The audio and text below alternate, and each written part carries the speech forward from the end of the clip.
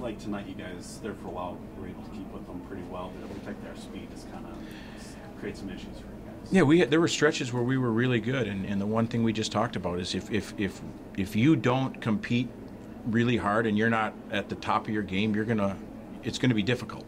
And you know their power play was really good early, and and then we had a you know we you know it's one one one nothing one one two one two two and we're playing and and you know they scored couple goals off of a rush which really weren't that threatening of situations but then they end up in the back of your net. And now they're a really difficult team to chase. But Curtis mentioned that in the first period. It seemed like they were coming at us with some speed. And they're you know they're a team that when they when their forwards get going they can they're they're really dangerous especially the the Tuomie Michaelis line has got they got a lot of speed. You guys go on the power play, looking at tied at three three. You don't score there, and then immediately it's back to back. Is that did that stretch? Yeah, that was difficult. Our, our, our power play wasn't as good as theirs, and um, we had a couple decent looks, but not nothing great. And they've got the number one penalty kill in the country, so you know you have to give Minnesota State credit. But had we been able to take advantage of that at, at three two, you know, you get a like you said, you get a power play, and then you know that that puck that you know it's at the blue line. We're we're kind of sort of going to make a play on it, and then it goes the other way for a two on one, and uh, yeah, but but if we could have taken advantage, and we had some decent, that was probably as as good a power play as we had, and, and, and none of them were, were outstanding. And it's been a really good power play for us. So we're not, uh, I'm not saying it, it hasn't been good. It just tonight it wasn't as good as, as Minnesota State's penalty kill. kind of build off that. I mean, when they get rolling and they get a couple in, a, in such a short amount of time right there, like how overwhelming is that, especially when a team of that caliber kind of gets a little momentum and puts a couple in? Well, yeah, you know when you, again, they lead the country in goals against. So if, they're going to score five, it's going to be really hard to beat them, right? You know, and and uh, you know at, at you know we four four goals in the second period, and and I thought we played really good to start the third. Like we had some really good grade A opportunities, some good looks, and they, they didn't end up going in. And then we get it to we get it to five three, and and you know, we elected to pull the goalie and see what we could do. But you know we were pushing and we were we were doing what we needed to do. Uh, but yeah, you're right. They're a, if they get out in front of you, they're difficult to they're difficult to catch. That's that's for sure. When a team like this comes in that's as highly touted as they are, and you know that they're just all around, you know, they have a great team.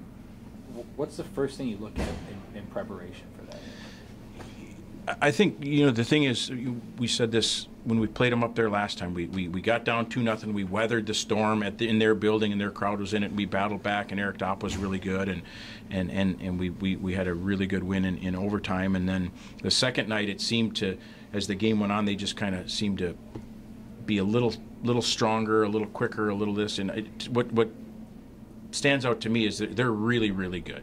They're really deep at every position. They're they're strong. They, they can play however you want to play. You want to play physical and, and, and make it a, a grinded out game. They can do that. They've got players on their team that, that 100% feel comfortable doing that. You want to go up and down the rink and try to score goals. They can do that.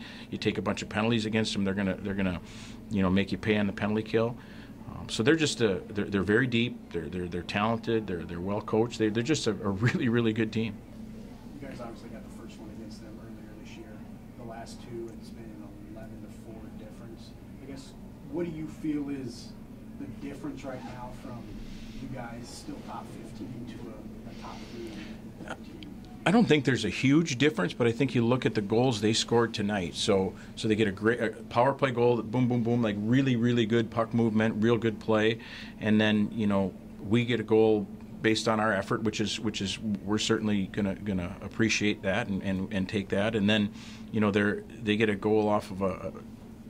Like a, it's a nothing play, but once you give them a, a three on two, it ends up in the back of your net, and so they can take advantage of the, the smallest opportunity, and, and maybe another team that isn't as talented, does, you know, you can get away with that against somebody else. You can't, you know, against them. So your margin for error isn't great, um, and and you've got to, you know, we, we watch after the after the second period. I, I said I want I want I want everybody to see this, and we showed the goals, not to not to make anybody feel bad or or say look what you did, but look at this is how quickly it can turn if you make just the, the, the a wrong decision or, or, or you're not willing to really compete for it, and that's the biggest thing against them. If you're not 100% engaged in the in this game, it's going to be difficult because they're they're they're just very good, and and they're it's rare that you catch them not not playing hard, you talk about the night Conquest had for you guys?